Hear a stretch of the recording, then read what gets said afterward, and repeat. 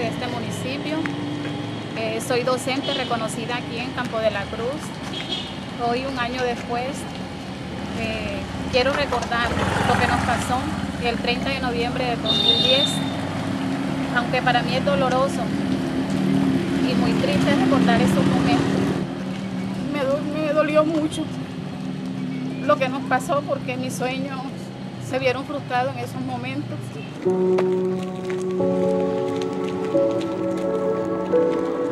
El sueño de mi niña que, que me decía que no quería estudiar en otra escuela, sino en mi escuela.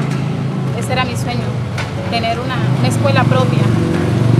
Y vi como en, en cinco días, en cinco días, todo, absolutamente todo, se me perdió.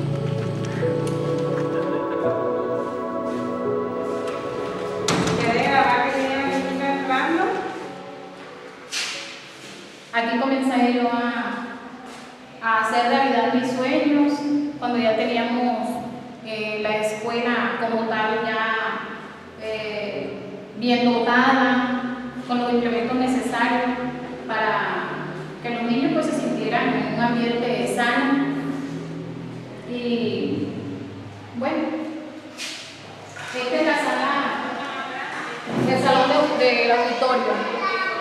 Como pueden ver, ya lo estamos reconstruyendo, eh, se está estucando, luego tendrá la, la, la pintura y bueno, con la colaboración de los padres, eh, el empuje nuestro, de mis compañeras y el mío, eh, ya queremos que nuestra escuela pues sea la misma de- del 2009, cuando la inauguramos. Eh, síganme para que puedan. Buenas tardes. Buenas tardes. ¿Cómo están? Bien. ¿Qué hacen? ¿Están dibujando campo? Ah, qué bueno. Bueno, vamos a ver un momento los lápices ahí en la, en la mesita y vamos a entonar la canción Good Morning Teacher. Un, dos, tres. Good morning,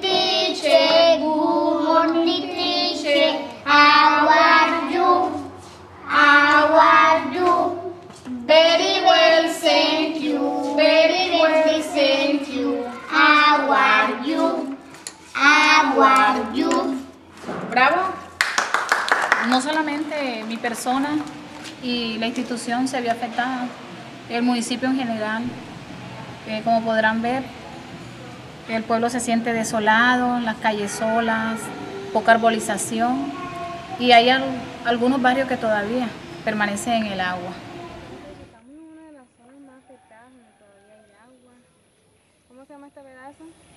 Estamos en el barrio El Diluvio, quien más ha sufrido los estragos de la ola invernal. Un año, un año después aún sigue en el agua.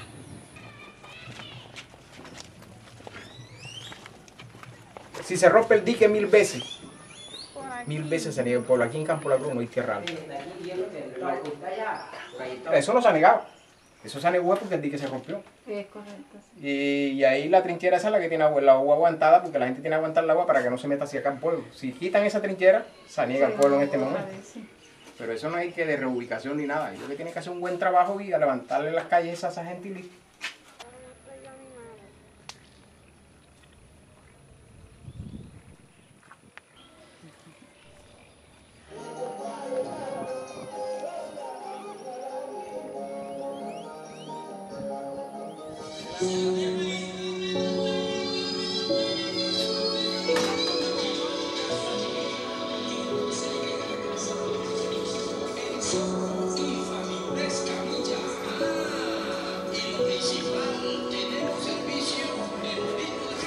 Observen este árbol de Navidad eh, construido con, con lo que lo- los habitantes de este barrio tenían a la mano, pedazos de plástico, tiras de saco, porque pues yo, ellos guardan ese espíritu navideño aún en medio de, de tanta adversidad. Y, así es mi gente. Así es mi gente. eh, pues quiere salir adelante.